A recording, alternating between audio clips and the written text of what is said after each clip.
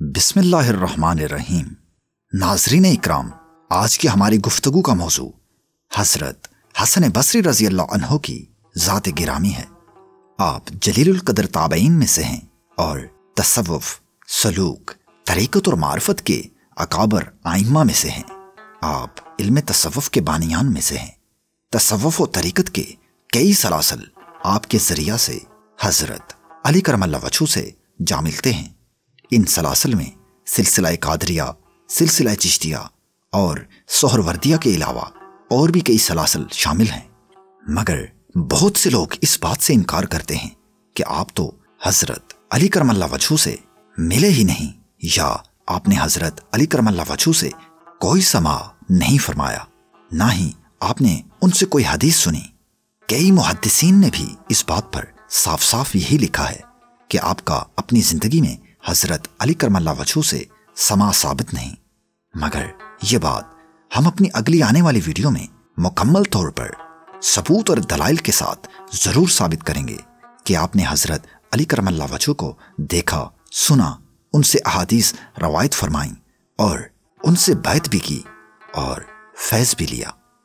अगर हम ये बात साबित न कर सकें तो फिर तमाम सलासल तरीकत हसूर अक्रम सल्लल्लाहु वसल्लम से हमेशा के लिए खत्म हो जाते हैं और कोई भी सूफी या वली नहीं बचता। लिहाजा हम अपनी अगली वीडियो इसी मौजू पर ज़रूर बनाएँगे इनशाला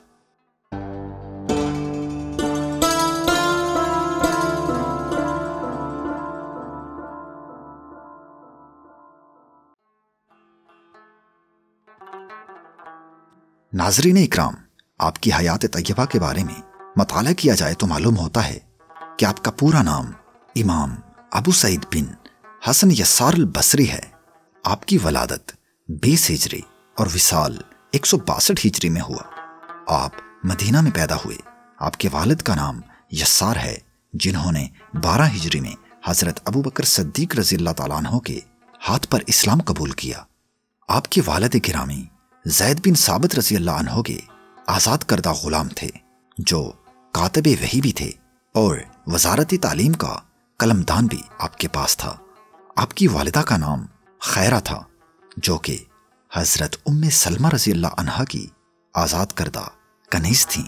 उम्म सलमा रज़ी अल्लाह हजूर अक्रम सल्लल्लाहु वसल्लम की जोजाए मोहतरमा है। हज़रत हसन बसरी रज़ी अल्लाह की विलादत, हज़रत उम्र फारूक रज़ी की शहादत से दो साल कबल हुई। आप जब पैदा हुए तो आपको हज़रत उमर रज़ी अल्लाह के पास ले जाया गया। हज़रत उमर रज़ी अल्लाह ने जब आपको देखा तो अपना लाभ दहन आपके मुँह में डाला और फिर फरमाया कि ये बहुत खूबसूरत है। इसका नाम हसन रखो। लिहाजा हज़रत उमर रज़ी अल्लाह ने आपका नाम रखा। चूँकि आपकी वालिदा हज़रत उम्म सलमा रज़ी अल्लाह के घर में काम किया करती थी तो आप सारा दिन आपके घर झूले में पड़े रहते।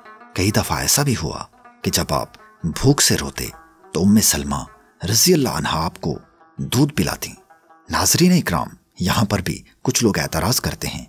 वो ये कि बावन साल की उम्र में दूध कैसे हो सकता है, जबकि उस वक्त हज़रत उम्म सलमा रज़ी अल्लाह का ना ही कोई ऐसा बच्चा था कि आपका दूध होता।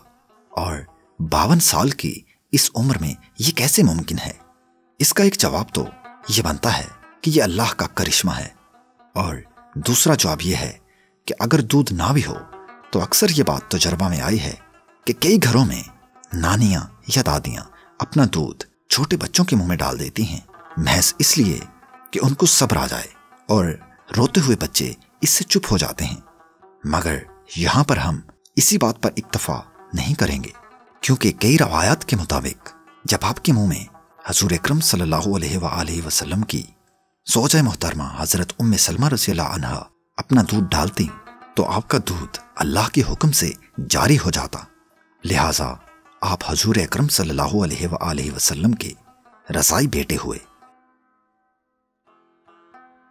आपकी पैदाइश के दो साल बाद हज़रत उमर रजील्ला को शहीद कर दिया गया। इस दो साल के अरसा के दौरान हज़रत उमर रजील्ला अक्सर हज़रत उम्म सलमा रज़ी के घर आते जाते रहते थे। जब भी हज़रत उमर आपको देखते तो सर पर हाथ फेरते और दुआ देते। हज़रत उमर रजील्ला की शहादत के बाद हज़रत उस्मान गनी रजील्ला खलीफा बने। लिहाजा आपने हज़रत उस्मान गनी रजील्ला का पूरा दौर खिलाफत देखा।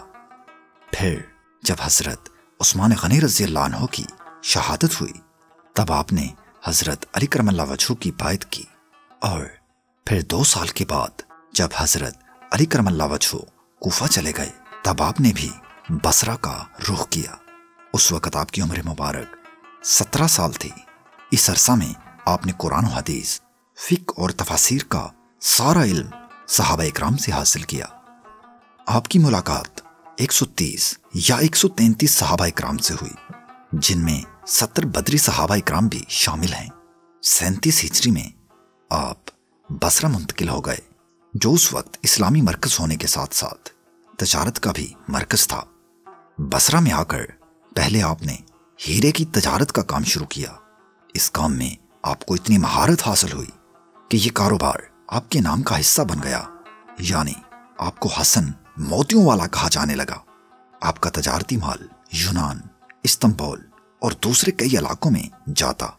आपका हीरा खरीदने वालों में हुकामा और वजारा लोग शामिल थे। इस अरसा के दौरान आपके असासे बढ़ गए और आपके माली हालात काफ़ी अच्छे हो गए।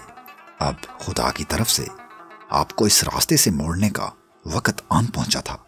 एक दफ़ा आप यूनान गए हुए थे। वहाँ के बादशाह का बेटा सख्त बीमार था और हज़ार हा कोशिशों के बावजूद कोई भी उसकी जान न बचा सका। जब आपने ये सारा माजरा अपनी आँखों से देखा तो दिल इस दुनिया से बेजार हो गया और याद हक की तरफ़ पलट गया। उसके बाद आपने हीरे की तजारत को खैराबाद कहा और बसरा की जामे मस्जिद में खुतबा देना शुरू कर दिया। आप वहाँ पर नमाज़ पढ़ाते और लोगों को तालीमात देते। बहुत से लोग आपकी मजलिस में आकर बैठते और इल्म हासिल करते।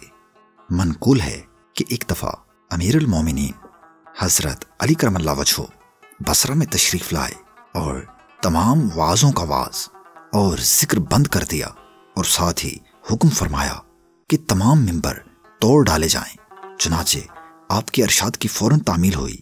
अजाबाद आप ख्वाजा हसन बसरी रज़ी अल्लाह की मजलिस में तशरीफ़ लाए और फरमाया, तुम आलिम हो या मुतालिम ख्वाजा ने अर्ज़ किया कि मैं कोई चीज़ नहीं हूँ, बल्कि जो बातें मुझे जनाब नबी करीम सल्लल्लाहु अलैहि वसल्लम से पहुँची हैं मैं उन्हें खल्क को पहुंचाता हूँ। हज़रत अली करमल्ला वजहू ने आपका शाइस्ता जवाब सुनकर फरमाया कि इस जवान की बात माकूल और नतीजा खेस है। जब हज़रत अली करमल्ला वज़ू इस मजलस से तशरीफ़ ले जाने लगे तो ख्वाजा मिंबर से उतरकर आपके पीछे रवाना हुए और आपका दामन पकड़कर कहा, खुदा के लिए आप मुझे वज़ू करना सिखा दीजिए। चुनाचे उस मकाम पर जो अब बाबुल तश्त के नाम से शोहरत रखता है। एक तश्त लाया गया और जनाब अली करमल्ला वज़ू ने ख्वाजा हसन बसरी रज़ी अल्लाह को वज़ू करना सिखाया। नाजरीन इकराम, यहाँ पर इस बात से यह मुराद नहीं कि आपको वज़ू करना नहीं आता था, बल्कि इस वज़ू से मुराद वज़ू बातन, यानी बातन का वज़ू है। वज़ू करना था कि दिल की पाकिजगी और बातन में मजीद निखार पैदा हुआ और फैज हासिल हुआ। हसरत अली करमल्ला ताला की इजाज़त से आपको बसरा का मुफ्ती करार दे दिया गया। आपका वाज सुनने वालों में और शागिर्दों में मोहम्मद इब्न सिर्रीन भी शामिल हैं। इसी तरह उमर बिन अब्दुल अज़ीज़ रहमत भी आपके शागिर्दों में शामिल हैं। इसके अलावा और भी बहुत से लोग आपके खुतबा या वाज के दौरान आकर बैठते। एक मरतबा दौरान वाज हज्जाज बिन यूसुफ, जो कि उस वक्त गवर्नर था, बरहना शमशीर लिए अपनी फौज के हमरा वहाँ पहुँच गया और आपके वाज की महफिल में जा बैठा। उसी महफिल में एक बुज़ुर्ग ने अपने दिल में यह ख्याल किया कि आज हसन बसरी का इम्तिहान है कि वो ताजीम के लिए खड़े होते हैं या वाज में मशगूल रहते हैं। चुनाचे आपने हजाज की आमद पर कोई तोज्जा न दी और अपने वाज में मशगूल रहे। चुनाचे इस बुज़ुर्ग ने यह तस्लीम कर लिया कि वाकई आप अपनी खसलतों के एतबार से इसमें बा मुसम्मा है, क्योंकि अहकाम खुदाबंदी बयान करते वक्त आप किसी की परवाह नहीं करते थे। इख्ताम वाज के बाद हजाज ने दस्तबोसी करते हुए लोगों से कहा कि अगर तुम मर्द खुदा से मिलना चाहते हो तो हसन को देख लो। आपके कलाम में अल्लाह ताला ने बहुत तासीर रखी थी। आप फरमाते हैं कि दुनिया एक सवारी है, इसके ऊपर सवार हो जाओगे तो ये तुम्हें मंजिल तक ले जाएगी। और अगर ये तुम्हारे ऊपर चढ़ गई तो तुम्हें तबाह कर देगी। दुनिया की दोस्ती ने ही बुत परस्ती को जन्म दिया है, जो तेरे सामने दूसरों की बातें कर रहा है। एक दिन वो दूसरों के आगे तुम्हारी बात भी ज़रूर करेगा। हज़रत मालक बिन दिनार कहते हैं कि एक दफ़ा मैंने हज़रत ख्वाजा हसन बसरी अल्लाह से पूछा कि लोगों की तबाही किस चीज़ में पोशीदा है? फरमाया कि मुर्दा दिली में। मैंने पूछा कि मुर्दा दिली का क्या मफहूम है? फरमाया कि दुनिया की जानब रागब हो जाना। आप फरमाया करते थे कि इंसान के लिए ज़रूरी है कि वो नाफ इल्म, अकमल इल्म, इखलासो कनात और सब्र जमील हासिल करता रहे और जब ये चीज़ें हासिल हो जाएँ तो उसके आखरवी मरातब का अंदाज़ा नहीं किया जा सकता। इसी तरह आप फरमाते थे कि भेड़ बकरियाँ इंसानों से ज़्यादा बाखबर होती हैं, क्योंकि चरवाहे की एक आवाज़ पर चरना छोड़ देती हैं। और इंसान अपनी ख्वाहिशात की खातिर अहकाम इलाही की भी परवाह नहीं करता। आपके मतलब मनकूल है कि आप हर वक्त खौफ खुदा से लरसते और हमेशा गिरिया उजारी में ज़िंदगी बसर करते। कातब हरूफ ने हज़रत सुल्तानुल मशाइख की कलम मुबारक से लिखा देखा है। कि जिस रात को ख्वाजा हसन बसरी रज़ी अल्लाह का इंतकाल हुआ तो ये आवाज़ बरामद हुई कि खुदा ताला ने आदम व नोह और आले इब्राहिम और औलाद हसन को दूसरे लोगों में से छांट लिया है। जिस रात ख्वाजा हसन की वफात हुई, उस शब में एक बुज़ुर्ग ने ख्वाब में देखा कि आसमानों के दरवाजे चौपट खुले हुए हैं और एक मन्नाद बावाज बुलंद पुकार रहा है। कि ख्वाजा अपने खुदा के पास पहुँच गए और उनका खुदा उनसे बिल्कुल खुश और राज़ी है।